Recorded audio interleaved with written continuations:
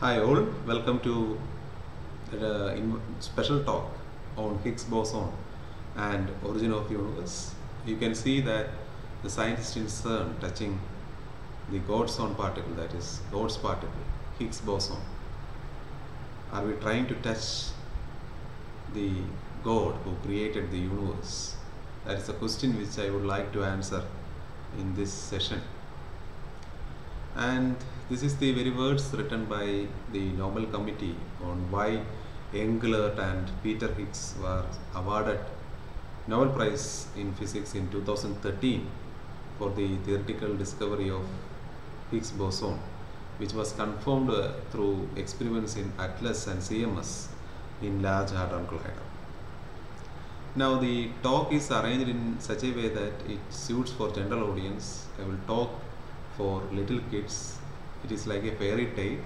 So in the chapter 1 of this fairy tale we will talk about the standard model and the revolutionary concepts in modern physics. And in chapter 2 I will talk about Higgs field, Higgs boson and origin of universe and origin of mass. And in the last part I will talk about Large Hadron Collider. Chapter 1 What is standard model and what are the revolutionary concepts in modern physics? That is the first topic which I would like to talk. Physics always keep on changing our understanding. You can see there was a olden camera and now we have changed to a digital camera. So what happens is that we get more clarity, more understanding to all the underlying physical concepts that we see in the nature. Uh, one of the such example is that uh, the geocentric universe which was one prop- once propagated in the scientific field where the earth was at the center and everything else revolved around earth. That concept altogether changed with the evolution of telescope and other observations. And now we are moving to heliocentric universe where sun is at the center. Now again these concepts are again changing and right now there are many thoughts that we are revolving around a black hole. And such concepts are also coming up and that is why the we say that physics always keep on changing our understanding. Now we also thought that uh, light is a wave very before. But then after photoelectric effect was discovered we know that light has a particle nature too. Today we know that light is having dual nature. That is it is neither a particle or a wave. So that is why uh, even in space time and mass everything was changing. The views were changing. That absolute concepts which involved on these fundamental quantities changed with the evolution of relativity. And now we know that space time and mass are relative. Likewise, in uh, around 1930s, uh, electron, proton, neutron were considered the fundamental particles. But as time evolved, more and more particles were discovered, and thanks to Gell-Mann, Feynman, etc., who postulated the existence of quarks, leptons, and gauge bosons. So right now, we feel that these are the fundamental particles rather than electron, proton, and neutron and this happens you see when time evol- evolves we first thought that the fields around us is continuous like when we see a waterfall at a distance we feel that the water is continuous. But if at a closer look we can see that this waterfall is actually a large combination of smaller particles. So likewise the field which we actually believed to be continuous our understanding changed and now we know that the field is made up of particles. And uh, once we thought uh, mass is an inherent property. You can see an apple here which recalls to the famous story where uh, newton thought mass as an inherent property. But now the recent development in particle physics we have found the god's particle which is the reason for mass so now the mass is due to the Higgs boson. So these ideas are constantly changing. So people often say or often ask, are physics people uh, crazy people trying to find crazy things? So I would like to quote the same the answer made by Niels Bohr. He says that this question is which divides us and I will say that physics are still not crazy enough to have a chance of being correct. He says that our theory is crazy but it is not cra crazy enough to be true. So right now let me share with you some of the revolutionary concepts that made standard model possible in modern physics. And one of the most craziest person who put forward this idea is Albert Einstein. And he put forward the concept of length contraction time dilation as well as he is the person who thought about mass expansion. All this space time and mass are relative concept. And thanks to Albert Einstein's E is equal to mc square revolutionary equation which changed our perspective to matter that matter can change into radiation energy. And uh, this person should be considered as the craziest person who put forward all these revolutionary concepts in modern physics. And in my earlier childhood days we used to joke about it. What is the difference between a man and a superman? And you know these jokes are very popular. Likewise uh, I, I would like to put some uh, physics to it also. You see superman has a larger difference than what is coming in comic books superman uh, is like uh, say he is 175 centimeter in length and probably he is a 60 kilogram man. So if superman is able to uh, move at a speed velocity equal to c by 2 his uh, mass is changing to 69 kilogram by the famous mass expansion equation m is equal to m0 by root of 1 minus v square by c square and his length will reduce to 152 centimeter by the equation L equal to L0 into root of 1 minus v square by c square where this root of 1 minus v square by c square is called the Lorentz factor. And if he travels at a velocity of 0.99 c then his mass again increases to 425 kilograms while he gets shortened to 24 centimeters. So these are some very crazy ideas which is not uh, as simple as we can think about like a common man. And if there is one more 9 that is if the person superman is traveling at, at 0.999 c then his mass becomes 1341 kilograms and his length reduces to 7 centimeter. And there are many interesting stories like twin paradox Gann-Fraser paradox all these trying to visualize this concept of uh, time dilation and this is more exotic story than length contraction or mass uh, expansion. You can see that there are two brothers say twins. One is selected for a space travel at a speed very much close to that of speed of light. And when he comes back after some say 20 or 30 years he finds himself to be younger than his twin brother. And these all things are such concepts which uh, needs deeper understanding and likewise uh, E is equal to mc square is also a very celebrated equation and this equation is considered to be a milestone because it resulted in some of drastic changes in the world. We know that in the World War II in 1945, United States conduct two atomic bombings against the cities of Hiroshima and Nagasaki in Japan. And you can see the mushroom cloud over there in Hiroshima after dropping of that little boy atomic bomb. And uh, uh, then there is a fat man mushroom cloud resulting from the nuclear absorption uh, over Nagasaki which rises to 18 kilometer into air. And this is due to the hydrogen bomb that uh, exploded and uh, it almost killed uh, around 1 lakh people at an instant in Hiroshima and around 80,000 people in Nagasaki. And this death came in just seconds. And these photos uh, shows the intensity of that uh, explosion and intensity of that interaction that happened. Even though these uh, bombs are very small and this crew who carried this bomb is considered to be the national heroes, the effects that it caused in the millions of people is still there and uh, people are still trying to recover from the impact that it created.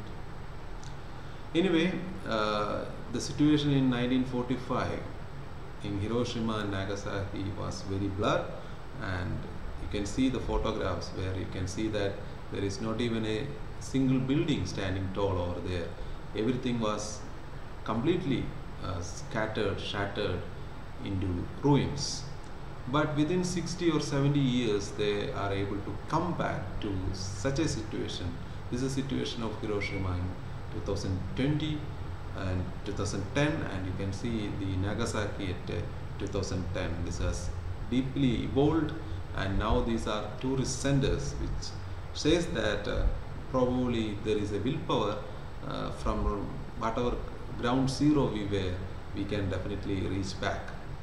And the next person which I would like to talk about is another craziest person. His name is Bose. So we can say that uh, great scientist seems to come in two categories. Some uh, who are apparently poor in studies like Albert Einstein while others with a brilliant record like Bose. So once uh, Bose mathematics teacher gave 110 marks out of 100 for SN Bose because Bose has not only answered all questions correctly but some of them in more than one way. And uh, another incident is that when he was doing his graduation, his professor Ray used to make this young Satyendranath Bose to sit in a stool by his side during lectures just to prevent him from asking difficult questions. And you can see that uh, he has uh, uh, uh graduated, post-graduated from Presidency College and that too in 1915 his, this is his mark list and you can see he has scored uh, 98, 85, 100, 89, 88, 94, 98, 84 and this was a grade or marking system which he got uh, in 1915s where the mark which uh, around 60 means you are uh, capable of appearing for ICS Indian uh, Civil Service exams. So Bose on those times uh, his IQ his performance in marks were, were beyond uh, comparison with any other students who studied in those times. And one interesting thing is that during his research times, he used to write papers and uh, regarding the existence of certain particles uh, which come all together in a ground state. So Satyendra Bose tried to publish these, there are existence of such particles called, which we know as bosons right now, and he tried to share with Albert Einstein. So this is a letter he has written while he was working in Dhaka University in physics department. He says that I have ventured to send you the accompanying article for your perusal and opinion where he was mentioning about the existence of bosons where all the particles comes to the ground state or particles can coexist in a single state and which doesn't above Pauli's exclusion principle. So he was writing that to Albert Einstein and look the language, look the way he is trying to present things. He is saying that I am anxious to know what you think about it. And you will see that he has tried to deduce Planck's radiation law uh, only assuming the concept of phase space. That derivation we have already studied in our MSc class in statistical mechanics course. And uh, he says that he doesn't know German to translate the paper and if you see that paper is worth publishing, he is asking Albert Einstein to publish in Friedrich for Physik. Thou a stranger to you, he is saying that uh, I don't feel like making a request, I don't hesitate to make a request because uh, from Albert Einstein is what we are profiting from. So his, uh, he is considering Albert Einstein as his guru or something like that and and he says that I don't know uh, whether you remember me I was the one who translated your paper on relativity when you came to Calcutta.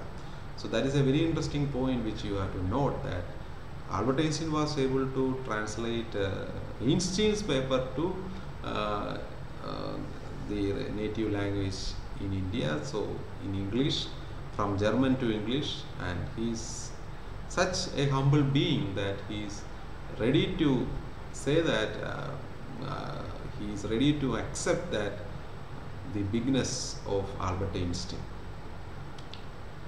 And uh, these are the some thoughts about uh, Satyendra Bose.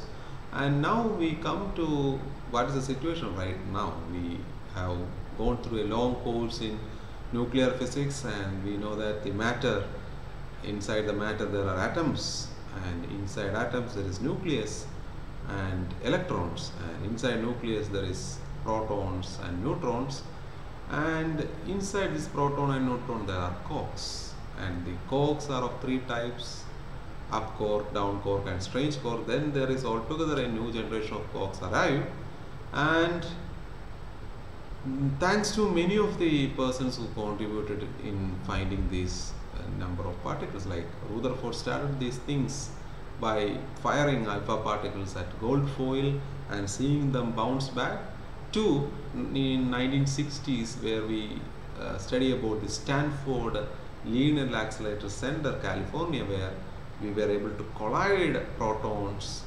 neutrons together to get understanding about quarks so these changes made revolutionary ideas in modern physics and if you wait till 2000 you can see that in from 1897 from electrons to the second generation of uh, particles like neutrinos, charm core, mu, strangeness to neutrino, top particle, beauty particle, beauty quark, etc. were found out and these are called the first generation, second generation, third generation of particles.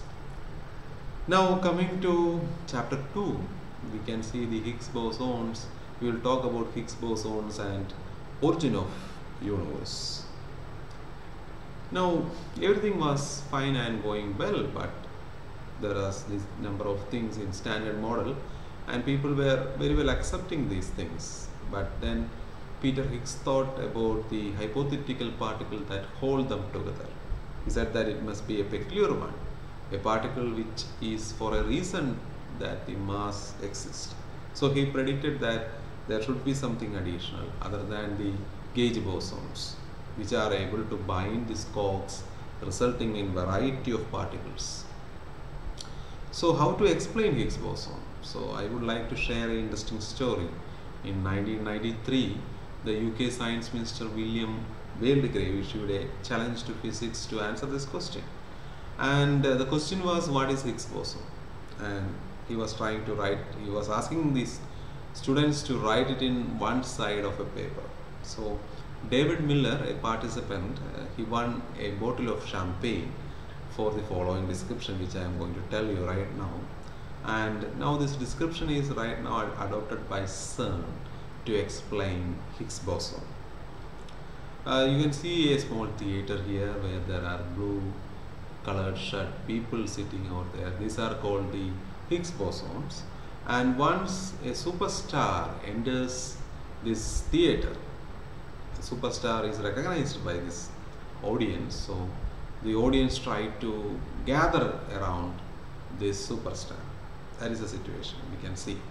So what is the value of the superstar? So is the gathering. If Mohanlal comes, then gathering will be high. If a simple man who is not uh, just uh, appeared in one or two films, he comes, the gathering will be slow. So according to the value of the superstar, the gathering changes. So that is a situation which you have to understand. We will try to see a small video to understand the same. At the Big Bang, tightly packed super-energetic particles filled each minute drop of space-time. As a drop stretched and cooled, its particles began to lose their energy. The mysterious property known as mass had not yet come into being. A hundredth of a billionth of a second after the Big Bang, when the temperature had dropped a fraction, something strange began to happen.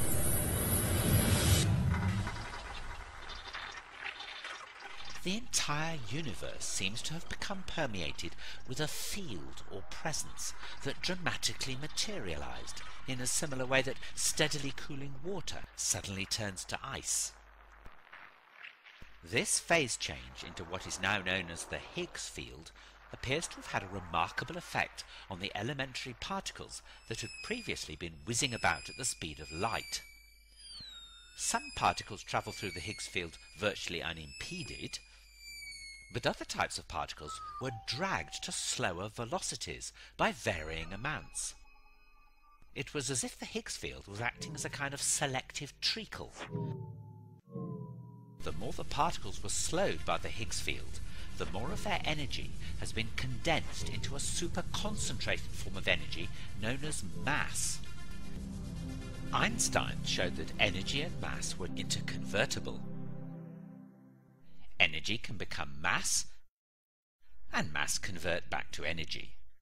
The Higgs field appears to share these two manifestations differently for our four particles. The electron is mainly energy, the muon a bit more mass, the W particle more still, and the top quark is nearly all mass and very little energy. But how can this Higgs field confer mass on a particle? In the quantum mechanical world, fields such as the Higgs field are envisaged as being made up of many tiny particles. These messenger particles that convey the effects of such fields are known as bosons. In this case, they'd be Higgs bosons. On closer inspection, the Higgs field is far from static. Its fluctuating levels are represented by Higgs bosons coming into and out of existence. The result is a boiling sea of jostling particles. Now when our electron enters this field, it slips past the Higgs particles with ease. The muon, being less slippery, encounters more friction with the Higgs field. The W particle makes quite heavy weather of its passage, with the Higgs particles getting quite a purchase on it and slowing it down considerably. Finally, the top quark locks readily with the Higgs bosons and is slowed down greatly, converting much of its kinetic energy into mass. So this idea was being put forward by a student called David Miller and and his idea is being right now used officially by CERN to explain Higgs bosons. So Higgs bosons are these blue colored particle and the superstars are this up core, down core, charm core, top core or any type of particle which we see and its attribute of mass is due to how this Higgs particle adhere to the original particle.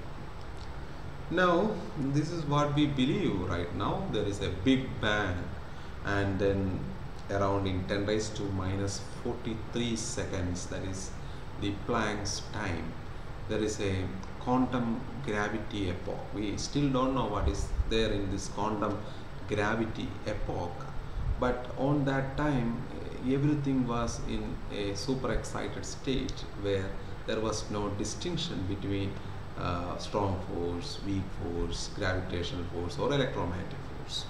Now coming to 10 raised to minus 34 seconds, then you can see this is called the grand unification epoch where there could be some rules, some equations, some set of equations to explain all the three, all the four actually, four interactions by single equations and this comes in the radiation dominated area where more or less it was radiation which was acting over there.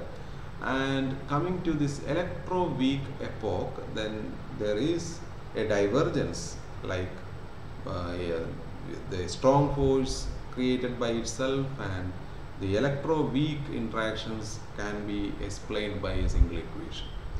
And then there is a lepton epoch where there is this disappearance of um, positrons and then combinations of quarks happened and this happens in leptons then there is a photon epoch where there is nucleation and formation of this helium nucleus and this comes in 10 raised to 13 seconds.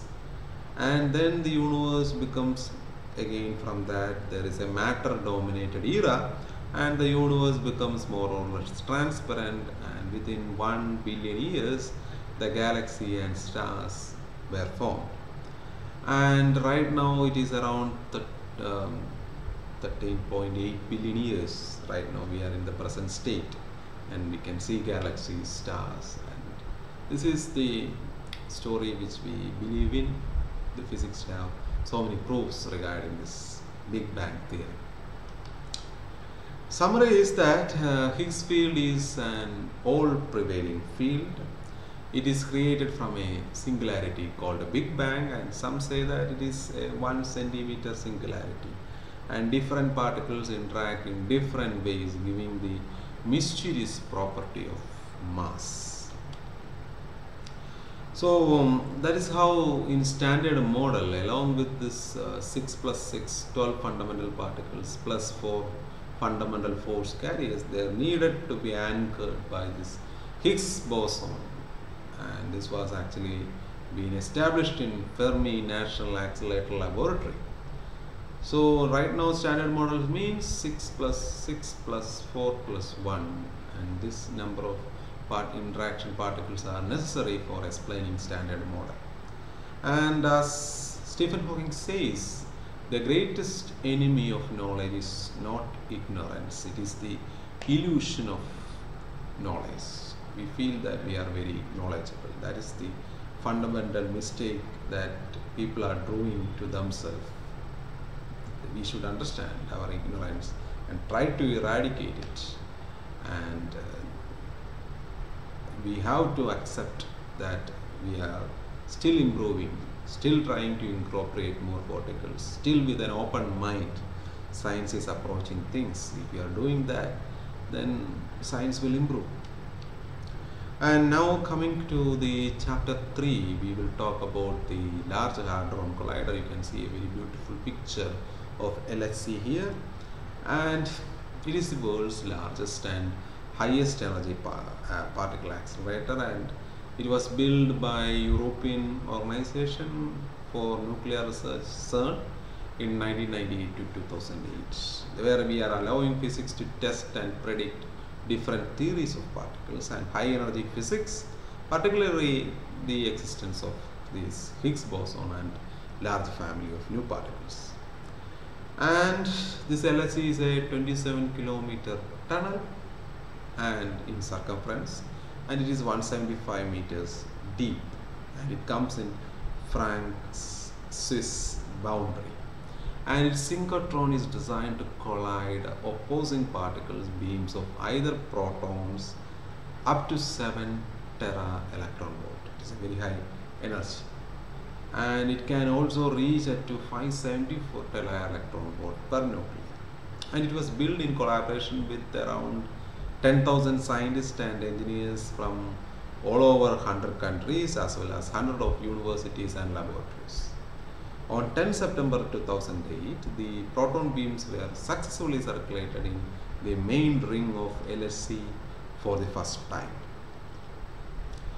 And you can see the internal structure, the core jets which are been evolving at the Fermi lab and LHC will operate at higher energies very soon and uh, it will be shut down for 20 months like upgrading for more and more energies.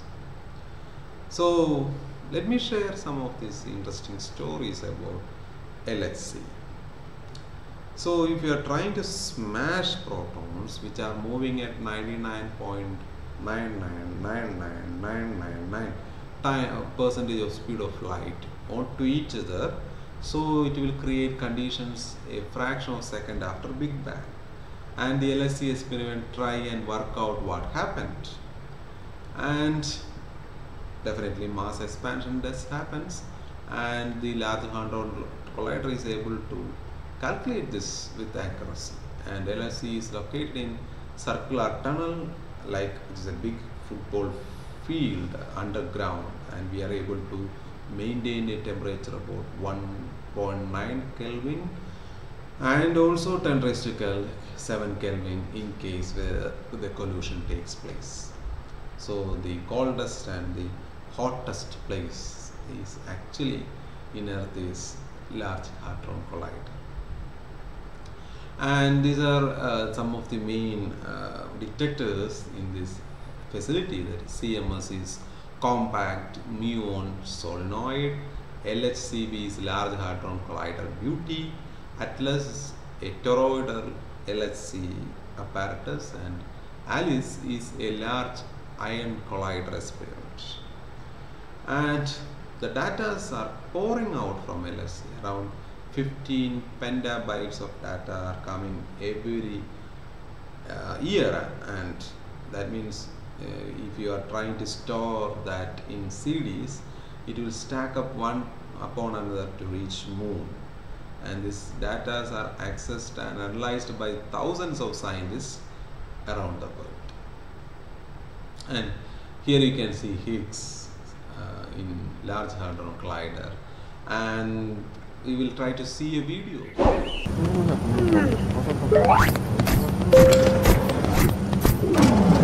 Welcome aboard the Large Hadron Collider. Your journey today will take you 14 billion years back in time to a moment just fractions of a second after the Big Bang. A moment when many young protons like yourselves were whizzing around full of energy, colliding with each other and helping to create the universe as we know it now. Some of you will be involved in such collisions today, and I regret to say that some of you won't make it home. The whole world appreciates the sacrifice you are making to push back the frontiers of science. And who knows, some lucky one amongst you may have a brief existence as an exotic particle. We are currently travelling at approximately 0.314 the speed of light, or 211 million miles per hour, and are accelerating towards the booster tubes and synchrotron circles. Hold on to your lunge. And onto the big circle itself. 27 kilometres of engineering miracle. Mm. You are surrounded by some of the biggest and coldest magnets on this earth. Don't worry if you are starting to feel a little heavy. By the end of the trip, you will be 7,000 times your original mass. They are now bending the beams. Remember, there will be a full debrief later for those of you that make it. We are looking for Higgs boson particles, tiny black holes, dark matter, or anything else a little unusual which might help prove one theory or another. Good luck, everyone. Collision in three, two, one.